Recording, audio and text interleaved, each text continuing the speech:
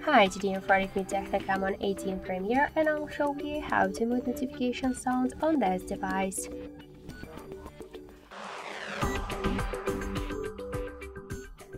So open first the settings and then tap to the sounds and vibration to mute a notification sound. You should hold and slide to the left side notifications volume panel with your finger. So that's it. Thank you for watching and if you find this video helpful, leave thumbs up and subscribe.